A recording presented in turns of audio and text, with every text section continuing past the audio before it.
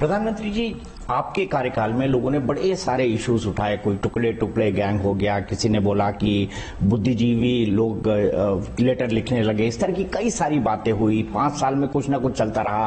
Award वापसी gang हो गया। दो चीज़ें हुई। या तो भ्रष्टाचार चस्पा कर दो। दूसरी चीज़ जो पिनाज ने बोली कि किसी तरह से ये बताओ कि राष्ट्र के लिए मोदी अच्छा नहीं है। तीसरी चीज़ जो हुई, आपके बारे में कहा गया, मोदी जी हैं तो लोकतंत्र खतरे में है। जब आप ये सुनते हैं तो आपकी प्रतिक्रिया क्या होती है? क्या आपके रहते वाकई लोकतंत्र खतरे में है? हमारे देश में मुख्यमंत्री और प्रधानमंत्री दोनों को अगर जोड़ दिया जाए, क्योंकि दोनों निर्णायक पोजीशन है तो एक तो मैं लंबे अरसे तक मुख्यमंत्री रह के आया हूँ। क्या मेरे इस लंबे अरसे तक मुख्यमंत्री रह के आया हूँ? तो रोज कई निर्णय करने तो पड़ते होंगे, बहुत फैसले करने पड़ते होंगे।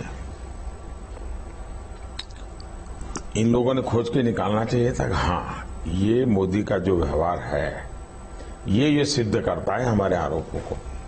वो तो हुआ नहीं है। पाँच साल से प्रधानमंत्री हूँ। पाँच साल में इतनी पार्लियामेंट के सत्र चले। एक में तो बताया कि हाँ ये है जो आपने, आप लोकतंत्र में विश्वास नहीं करते ये ऐसा तो कुछ कर नहीं। रहे हवाबाजी कर रहे हैं। और मेरा सरकार चलाने का तरीका कैसा है? मैं गुजरात में था, नया नया था, मुझे कोई सरकार का एक्सपीरियंस तो था नहीं। और महीने के आखिर में ढेर सारी फाइलें आ जाती थी साइन करने के लिए। और मैं देख रहा था कि किसी न किसी को नोटिस देना मेमो देना एक्सप्लेनेशन मांगना सस्पेंशन का ऐसे आती थी फाइलें। तो शुरू में तो मैंने फाइलों पे साइन करता रहा। एक आध दो महीने चला। मैंने पूछा, मैंने कहा, भाई, ये क्या है? नहीं नहीं बोले, साहब, इन पर ये इंक्वायरी चल रही थी और ये कल रिटायर्ड होने वाले हैं। इसलिए आज उनके नोट को नोटिस करना अच्छा ज़रूरी है। मैंने सबको बुलाया।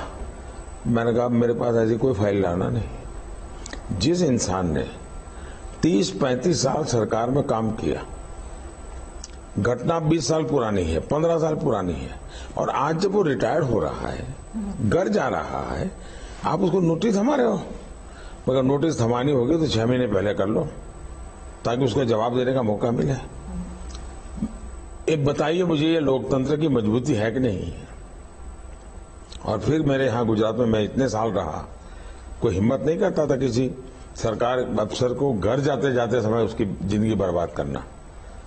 तो ये सारी चीज़ें ऊपर से हमने लोकतंत्र को मज़बूत बनाने की दिशा में अनेक प्रयास किए हैं। गुजरात में, गुजरात का स्थापना दिवस था। पचास साल हुए गुजरात को। सभी पार्टी के लोगों को मैंने असेंबली बुलाई थी। जितने भी एमएलए रहे रिटायर्ड हो गए सभी पूर्व मुख्यमंत्री सभी पूर्व मंत्री सबको बुलाया था हाउस में। और सबने बैठ करके साथ मिलकर के गुजरात की गोल्डन जुबली ईयर मनाया था।